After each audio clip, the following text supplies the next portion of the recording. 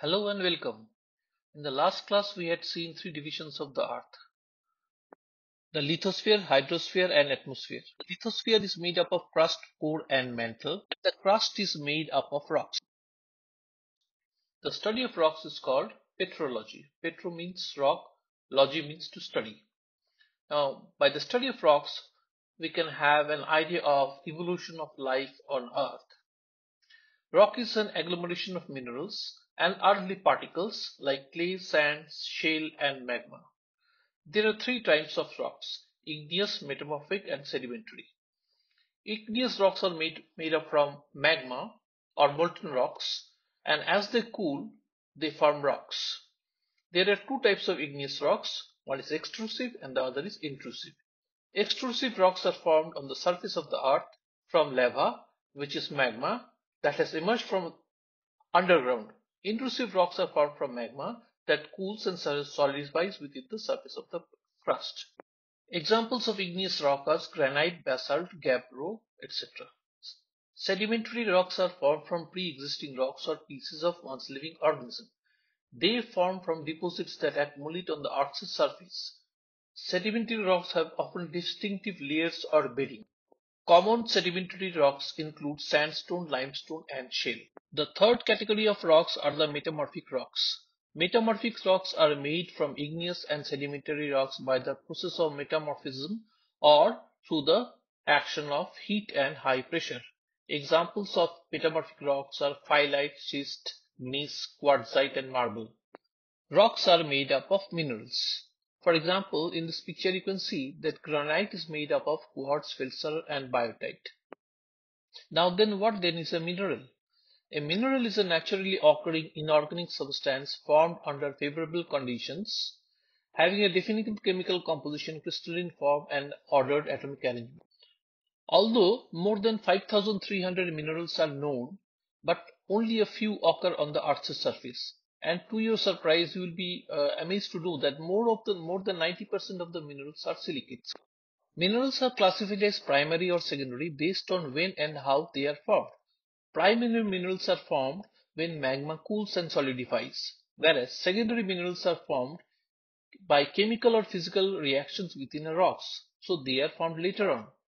They are formed by weathering, diagenesis or by low temperature alteration of a pre-existing rock. For example, mica is a primary mineral that alters to form illite, a secondary mineral. Primary minerals can further be classified as ferromagnesian and non-ferromagnesian. Ferro means iron, magnesium means magnesium. Magnesium. Ferromagnesium minerals could be ortho, neso, soro, etc. silicates, whereas non-ferromagnesian are tectosilicates. Secondary minerals could be silicates and non-silicates. Silicate minerals are predominantly clays and non-silicate minerals are oxides, hydroxides, carbonates, sulfates and phosphates. If you look at the abundance of the elements of the Earth's crust, out of the 118 elements known to us, 8 are sufficiently abundant to constitute 98.6% by weight of the Earth's crust. They include oxygen, silicon, aluminium, iron, calcium, sodium, potassium, magnesium. These elements combine to form minerals that gives rise to rocks. The converse is also true. You can see that oxygen and silicon together make up three-fourths of the Earth's crust and it is no wonder that they constitute more than 90% of the minerals on the Earth's crust. Now, soil has three particle size fractions, sand, silt and clay. Sand being coarser and clay being finer. Now, if we try to search which mineral resides in which size fraction of the soil, we will find that the primary minerals reside in the sand and silt fraction of the soil, whereas the secondary minerals predominantly reside in the clay fraction of the soil. This is nicely depicted in this graph. We then come finally to what then is soil. Soil is a three-phase system, solid, liquid and gaseous.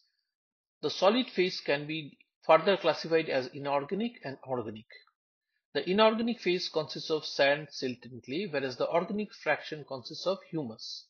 Humus is further subdivided into humic acid, fulvic acid and humin, whereas the inorganic fraction, sand, silt and clay is where the primary and secondary minerals resides. When we try to define soil, the first thing that comes to our mind is soil as the natural medium for plant growth.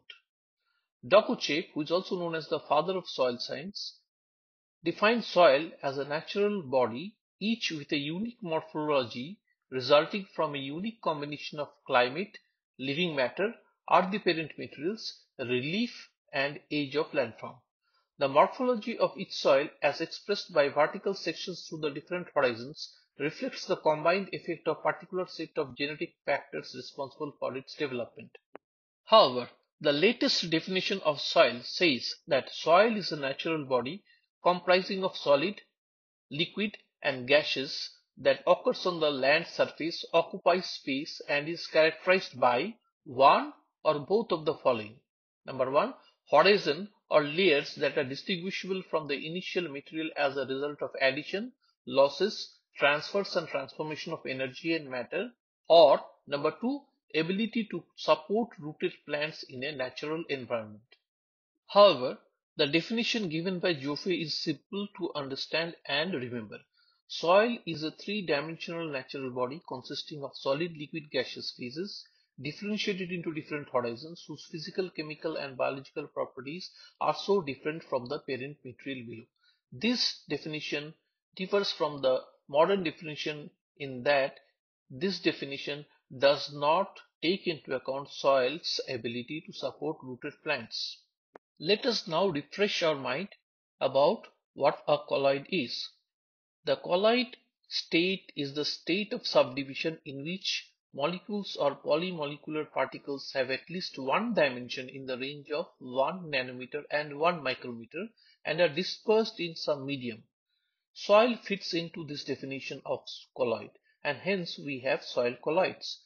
There are four soil colloids, layer silicate clays, iron and aluminum oxides and hydroxides, allophane and imogolite, and humus.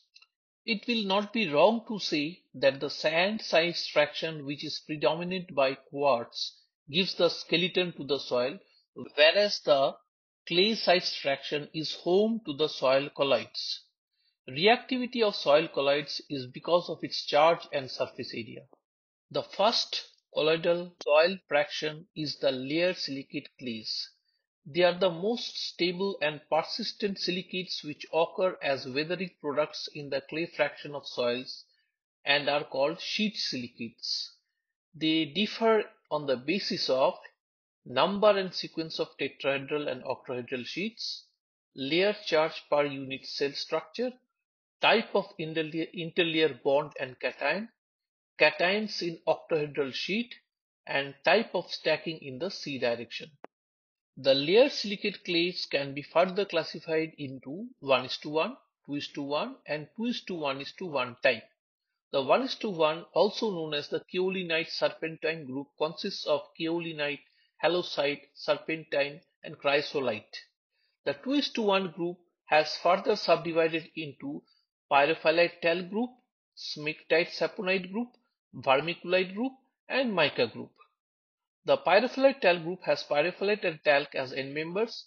The smectite saponite group has mortomponite, beidellite, nontronite as members. The vermiculite group has vermiculite as member and the mica group has muscovite and biotite as members.